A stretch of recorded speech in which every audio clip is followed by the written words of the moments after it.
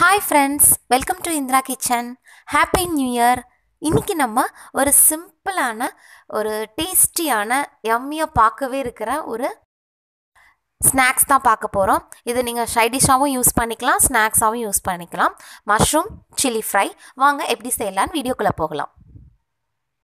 First இதுக்கு தேவையான மசாலா பார்த்துக்கலாம். கரம் மசாலா தூள் ஒரு டேபிள் ஸ்பூன் தனி மிளகாய் பொடி ஒரு டேபிள் ஸ்பூன் இஞ்சி பூண்டு பேஸ்ட்டு ஒரு டேபிள் ஸ்பூன் அண்ட் உப்பு தேவைக்கேற்ப.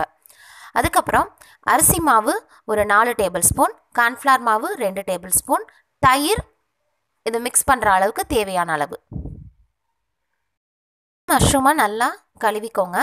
ஃபஸ்ட்டு ஒரு தடவை ஆர்டினரி வாட்டரில் வாஷ் பண்ணிக்கோங்க. அதுக்கப்புறம் நல்லா அந்த இதெல்லாம் க்ளீன் ஆனதுக்கப்புறம் சுடு தண்ணி வச்சு அது வந்து உப்பு போட்டு நல்லா இது பண்ணிவிட்டு அதில் இந்த மஷ்ரூமை கட் பண்ணி போட்டு இன்னொரு தடவை வாஷ் பண்ணிக்கோங்க. இந்த மாதிரி ஹாட் வாட்டரில் போட்டு நீங்கள் வாஷ் பண்ணும்போது அதில் தேவையில்லாத அந்த டஸ்டெல்லாம் இருந்தால் அதெல்லாம் போயிடும். ஸோ இது வந்து நல்லதும் கூட. ஸோ ட்ரை பண்ணி பாருங்கள் இந்த மஷ்ரூமில் கொஞ்சத்தை எடுத்து வச்சுருக்கேன். அண்ட் இதில் வந்து இப்போ நான் சொன்ன எல்லா மசாலா ஜாமானையும் ஆட் பண்ண போகிறேன் கரம் மசாலா தூள் தனி மிளகா பொடி இஞ்சி பூண்டு பேஸ்ட்டு தேவையான அளவு உப்பு அப்புறம் மாவு. அரிசி மாவு கார்ன்ஃப்ளார் மாவு இதை ஃபஸ்ட்டு ஒரு தடவை அப்படியே கிளறிக்கோங்க. அதுக்கப்புறம் அந்த பைண்டிங்க்கு இன்னும் தேவை அப்படின்னா தயிர் கொஞ்சம் சேர்த்துக்கோங்க. இதை நல்லா அப்படியே ஒரு ஒன் ஹவர் அப்படியே விட்டுருங்க. ஒன் ஹவர் கழித்து அது நல்லா ஊறிடும் எல்லாமே. ஸோ இப்போது எண்ணெயை வந்து சூடு பண்ணிக்கோங்க.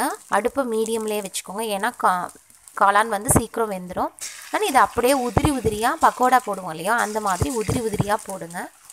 ஸோ அந்த சலசலப்பு அடங்கினோனையே நீங்கள் திருப்பி விட்டுடலாம் திருப்பி விட்டுட்டு கொஞ்ச நேரத்துலேயே எடுத்துடலாம் ஏன்னா உள்ளேயும் நல்லா வெந்துடும் ஸோ இது பார்த்திங்கன்னா செம்ம டேஸ்ட்டாக இருக்கும். நம்ம அந்த ஒன் ஹவர் ஊற விடுறது வந்து உள்ள மசாலா உள்ளே வரைக்கும் இறங்கிரும். ஏன்னா நம்ம காளானை வந்து சின்ன சின்னதாக தான் பீசஸ் கட் பண்ணியிருக்கோம்.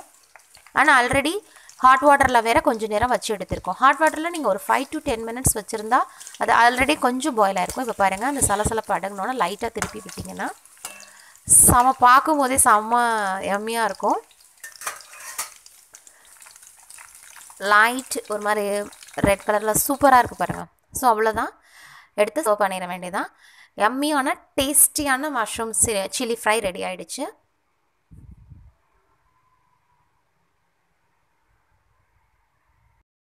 வீடியோ உங்களுக்கு கண்டிப்பாக பிடிச்சிருக்கும்னு நம்புகிறேன் அண்ட் இந்த வீடியோ உங்களுக்கு பிடிச்சிருந்ததுன்னா இந்திரா சேனலை இது வரைக்கும் சப்ஸ்கிரைப் பண்ணலைன்னா சப்ஸ்கிரைப் பண்ணிக்கோங்க.